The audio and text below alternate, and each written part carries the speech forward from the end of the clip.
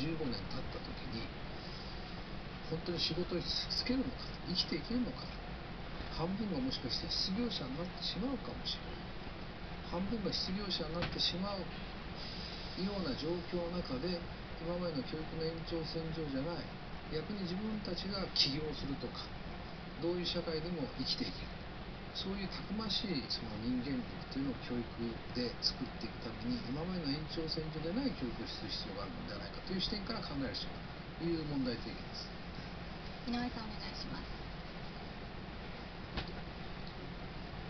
教育立国改めてまあ教育立国というふうに書きました。あの戦後の日本というのは科学技術立国だったと思うんですね。つまりあの植民地を失い領土が狭くなって資源がない日本がどうやって再建すればいいのかといった時に科学技術を中心にして国を再興していこうと。例えば核エネルギーでもそれが核兵器に使われるのには反対だけれどもそれは原子力発電所に使われるのでは賛成という形で短期間のうちにあの経済復興して先進国になったわけですけれどもでもエネルギーのことにしたって今後どういうふうなエネルギー政策を取れば日本が持続的に発展していけるのかっていうのはそんな簡単に答えが出てこない。でそうするとどうしたらいいのかっていうのはやっぱり教育に最重点をかけて、えー、いろんなアイデアをこう出していくっていう今の段階では私たちはとても想像がつかないような新しいエネルギーっていうのをあの未来を作り出さなきゃいけないっていうのをそれどうすればいいのかというとやっぱり教育であの非常に多様な教育をする中で、えー、いろんな能力のある人たちが次々と出てくることによって、えー本が今まで少ないから衰退していってしまうというのを教育に重点的に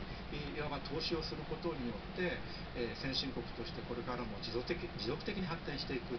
そのためにはあ言い古された言葉かもしれませんけれども改めて教育立国で日本はあの国を立て直して持続的に発展していくそういう先進国のモデルを示すんだそういう意味を込めて本に書きました。ではここでここまでに入っている最新のニュース福原さんお願いします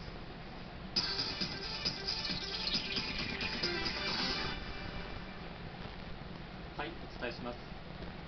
維新の党は今日午後安全保障関連法案の対案を国会に提出しましたが民主党との共同提出の余地を残し一部の法案については提出を見送りました。維新の党は民主党に対し来週24日までに共同で提出するかどうか検討するよう求めていることが分かりました。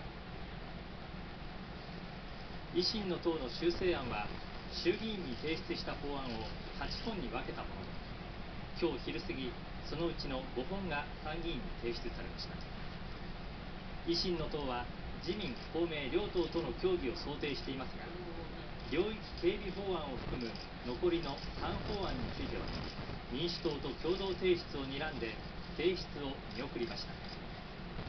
維新の党の片山参議院議員会長は民主党との協議に関して来週中の合意を個人的には期待したいと述べ共同提出に前向きな姿勢を示しました。民主党は岡田代表ら執行部が対案の提出には慎重な姿勢を示していますが関係者によりますと維新の党は民主党に対し来週24日までに対案を共同提出するかどうか検討するよう求めているということです。一方維新の党内では来月の山形市長選挙の対応をめぐり大阪選出の議員から柿沢幹事長の辞任を求める声が上がっています。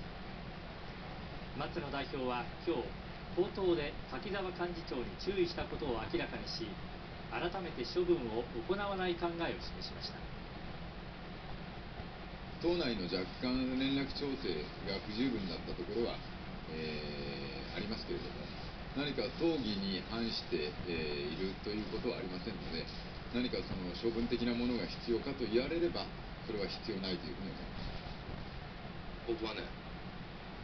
うん、違うと思うけどね。うん。いや、納得できません、それは。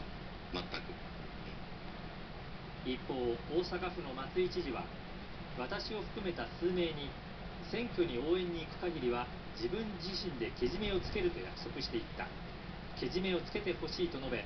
改めて辞任を求める考えを示しました。一連の問題に関し柿沢氏は FNN の取材に対し対応すべてが完璧ではなかったが野党共闘も含め対極的な判断で行動したと説明しています。が松井知事ら大阪選出の議員の不信感は根強く今後は波乱も予想されます。以上報道センターからお伝えしました。続いてブルームバーグから最新のマーケット情報です。染谷さんお願いします。はい、東京株式相場は3日続落です。原油や銅など商品市況の下落を受けて景気の先行きが懸念されました。平均株価は今日の安値で終了し2万円割れが目前に迫っています。